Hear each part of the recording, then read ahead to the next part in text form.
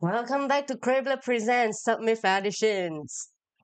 Today, we are going to talk about a very fascinating yokai. Yes, it's another yokai series, Kasa Obake.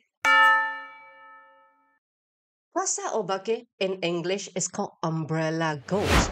So, as the name's called, its appearance actually looks like an umbrella. Kasa Obake doesn't look like the mundane umbrella that we use in our daily life. In a matter of fact, it appeared way before we born, or at least I born, in the ancient time. Thus, its, aspe- uh, its appearance is more to like a, a traditional Japanese umbrella. Besides of the traditional Japanese umbrella, Kasa Obake appearance basically is like this. There's one large eyes the, in the middle of the traditional umbrella, then a protruding long tongue that adds to its eerie appearance. Normally, you'll find two hands on the side of the umbrella, and on the bottom end, there's one leg. So, how Kasa Obake uh, travels basically is hopping by one leg, but rarely you'll find two legs Kasa Obake in some um, mythologies or folklore.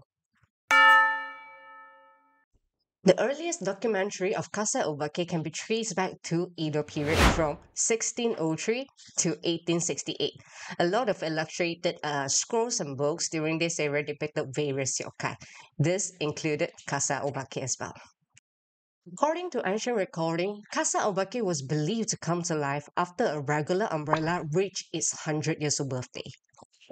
Upon reaching this significant milestone, the spirit of Umbrella would be infused with supernatural energy, transforming it into a living, breathing yokai. The reason of why such folklore appear actually is serve as a cautionary reminder to cherish everyday objects. Just like these TY toys. There are a lot of stories about Kasa Obake, and one of them is like this.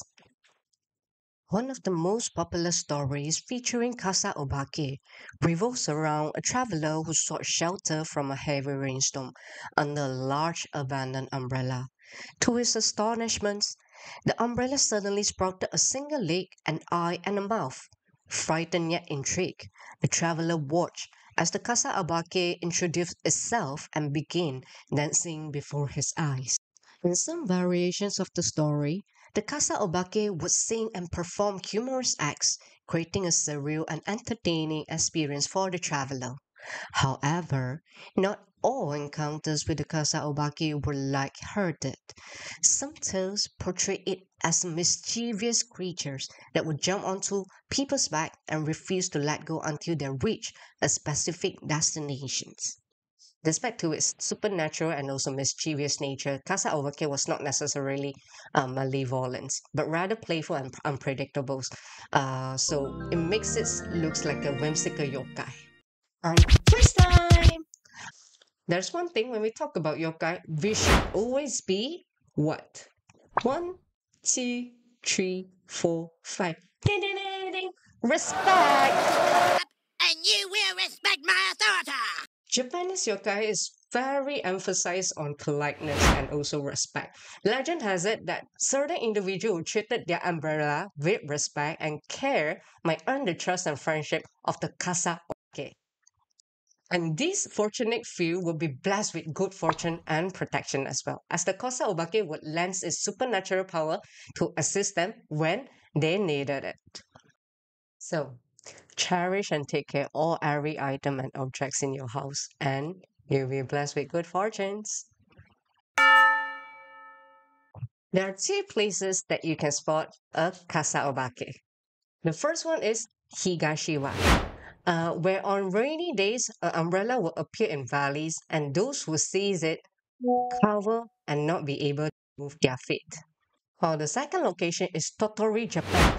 This yokai is called Yurei Gasa. It's advanced versions of Kasa Obake because it will blow people up into the sky on a windy day. So basically, Kasa Obake is slightly different than other yokai like Kappa or Zashiki Warashi. But other yokai can be said to live in another spiritual realm.